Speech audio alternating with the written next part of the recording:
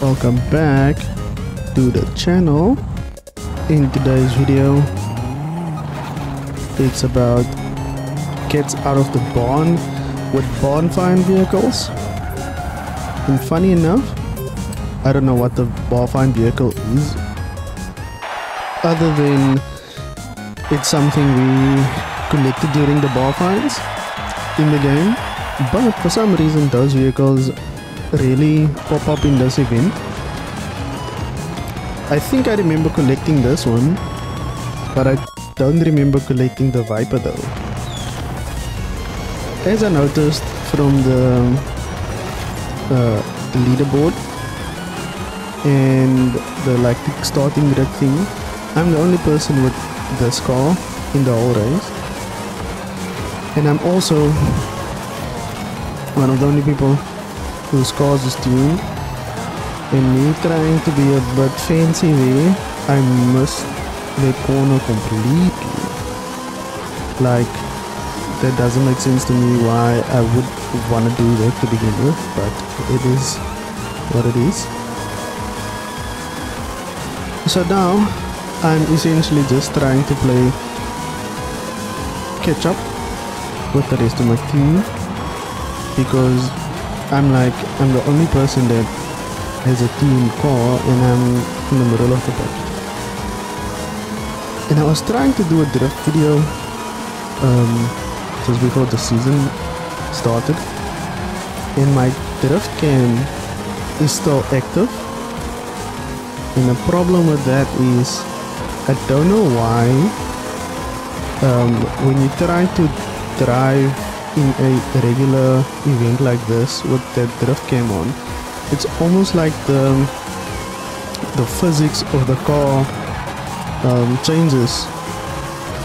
Because sometimes when you drift at certain angles like the one I did now it's almost like the car snaps back into position.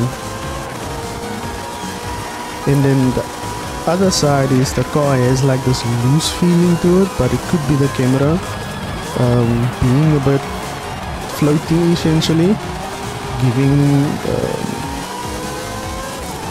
giving that effect.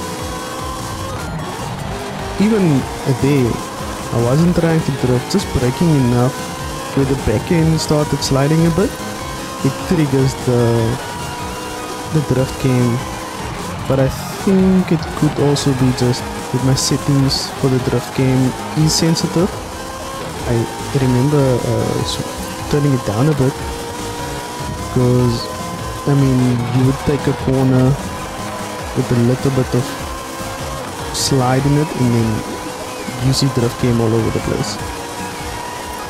So I'm gonna move it forward because I mean I don't think I catch this guy. And still trying to be fancy with my um, drifting. As soon as I don't take a race serious anymore, I just try drifting.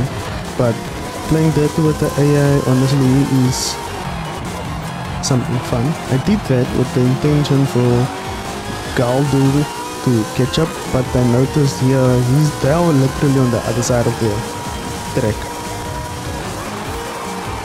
So yeah. Drift cam really does make drafting look nice.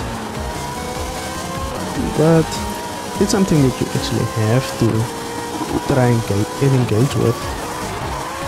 Um, like in a drift setting instead of in a what I did now. I decided to do one of the videos that I always see people giving other players a gap. I think it's AI so yeah 10 second gap like, comment, subscribe. While we're waiting and I've gone and I'll see you guys with more Forza content. Because I like making Forza content. It is essentially easy. But I've been adding voiceovers and I'm gonna stick to the voiceover thing because the voiceover bits could be fun so I'll see where that leads to. And it took me for 2 seconds to catch up to the backend driver, but I also do think uh, racing in these lobbies could be a matter of how um, the AI difficulty is set to the other players around me because I do know that if you play the game on very easy the AI will actually wait for you if you stand still. And the drift cam messed me up completely. But at least I passed one other human driver.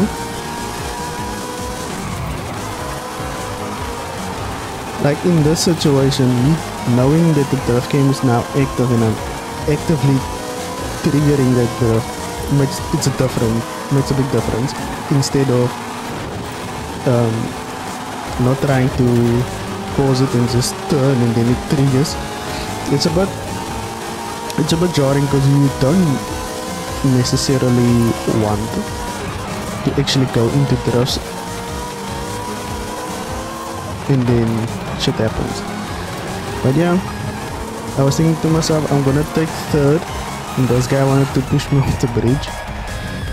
Fighting with him for third place was quite, but was, it was nice to give them the gap and actually try and see if I can catch up again. Because I'm, I'm the only car that is tuned in the race. Blue team wins!